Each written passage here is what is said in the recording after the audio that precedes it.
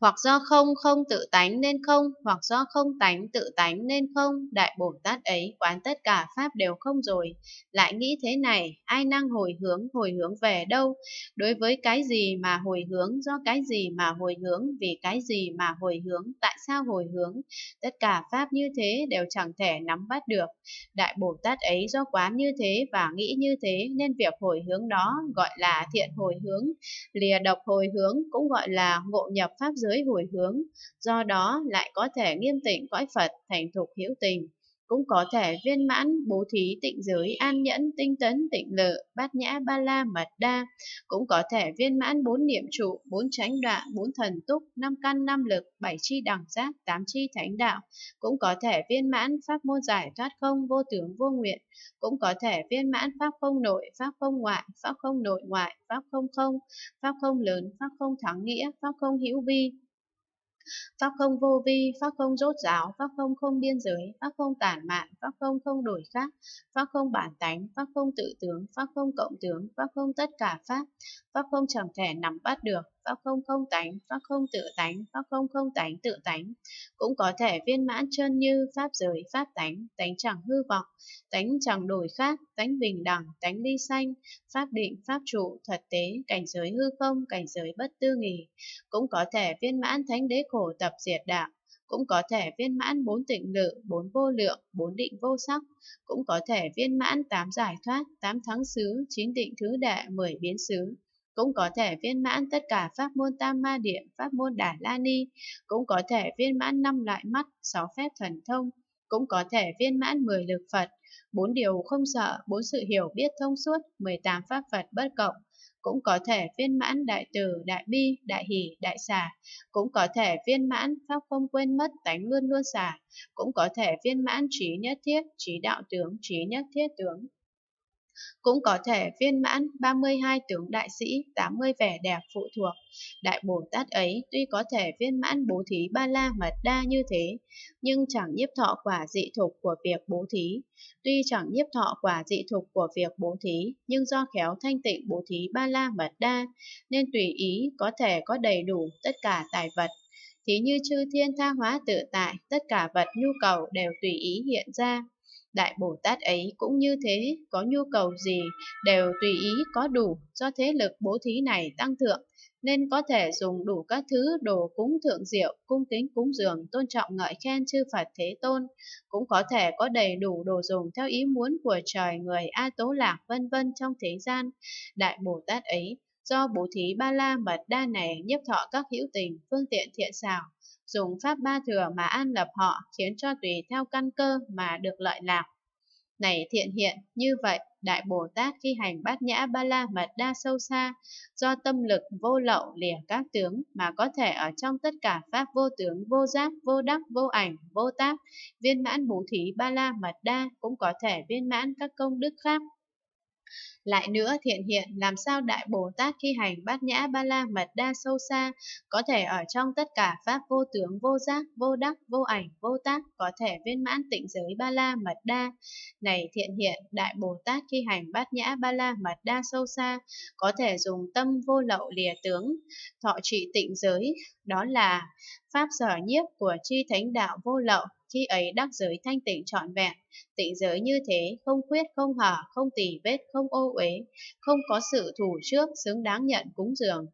Được người trí khen ngợi là thọ trì khéo léo, cứu cánh tuyệt vời, tùy thuận thắng định, chẳng thể khuất phục, do tịnh giới này đối với tất cả pháp không có sự thủ trước, nghĩa là chẳng thủ trước sắc, cũng chẳng thủ trước thọ tưởng hành thức,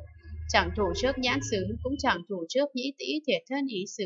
chẳng thủ trước sắc xứ, cũng chẳng thủ trước thanh hương vị xúc pháp xứ, chẳng thủ trước nhãn giới, cũng chẳng thủ trước nhĩ tĩ thiệt thân ý giới, chẳng thủ trước sắc giới, cũng chẳng thủ trước thanh hương vị xúc pháp giới, chẳng thủ trước nhãn thức giới, cũng chẳng thủ trước nhĩ tĩ thiệt thân ý thức giới.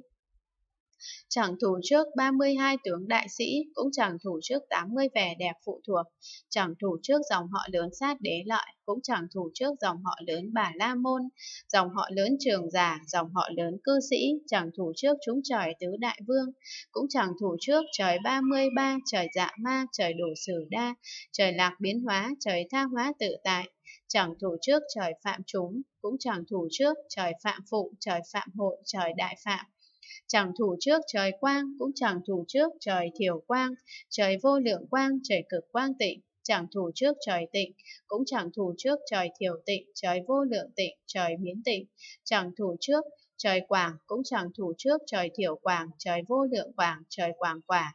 và trời vô tưởng, chẳng thủ trước trời vô phiền, cũng chẳng thủ trước trời vô nhiệt, trời thiện hiện, trời thiện kiến, trời sắc cứu cánh. Chẳng thủ trước trời không vô biên xứ, cũng chẳng thủ trước trời thức vô biên xứ, trời vô sở hữu xứ, trời phi tưởng phi phi tưởng xứ, chẳng thủ trước quả dự lưu, cũng chẳng thủ trước quả nhất lai bất hoàn A-la-hán, quả vị độc giác, chẳng thủ trước ngôi vị chuyển luân vương, cũng chẳng thủ trước các ngôi vua khác và các tể quan phú quý tự tại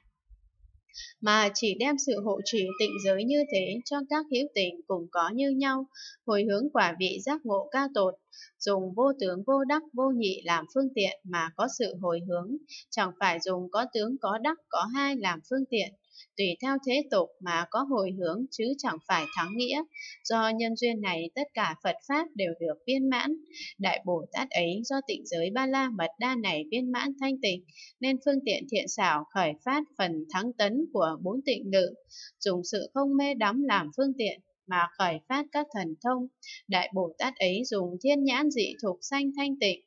thường thấy chư Phật hiện tại trong vô biên thế giới ở khắp mười phương an ổn trụ trì, vì các hữu tình tuyên thuyết chánh pháp, thấy rồi cho đến khi chứng đắc quả vị giác ngộ ca tột cũng không quên mất. Đại Bồ Tát ấy dùng thiên nhĩ thanh tịnh, vượt hẳn người thường, thường nghe chư Phật trong mười phương thuyết pháp, nghe rồi cho đến khi chứng đắc quả vị giác ngộ cao tột, thường chẳng quên mất. Theo pháp đã nghe có thể làm các việc lợi lạc cho mình và người, không có việc nào là vô ích. Đại Bồ Tát ấy dùng tha tâm trí sai biệt để biết tâm và tâm sở pháp của mười phương chư Phật và các hữu tình, biết rồi thường phát khởi các việc lợi lạc cho tất cả hữu tình. Đại Bồ Tát ấy dùng trí túc trụ tùy niệm biết nghiệp đã tạo đời trước của các hữu tình, do nghiệp đã tạo không hoại mất nên sanh vào các chỗ như thế, như thế, thọ các điều khổ vui,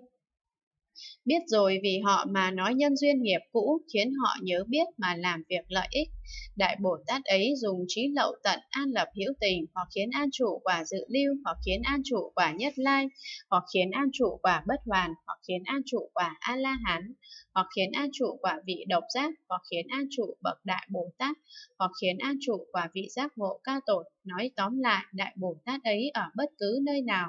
tùy theo khả năng sai khác của các hữu tình mà phương tiện thiện xảo khiến họ an trụ trong các thiện pháp.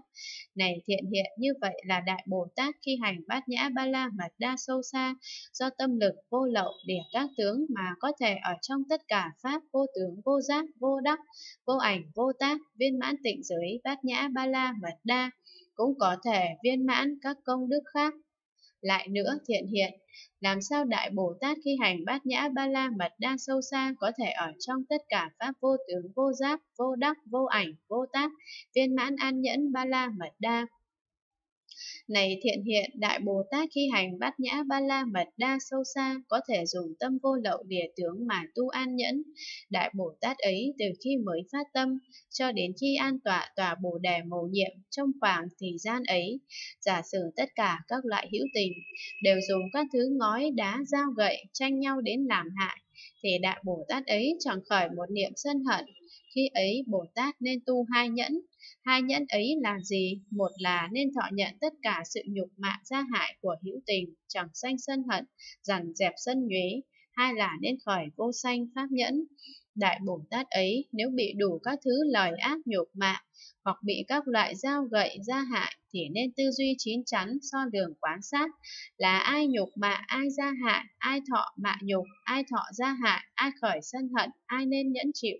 lại nên quan sát tất cả pháp tánh đều rốt ráo không, pháp còn chẳng thể nắm bắt được, huống là có pháp tánh, pháp tánh còn chẳng có, huống là có hữu tình, khi quan sát như thế,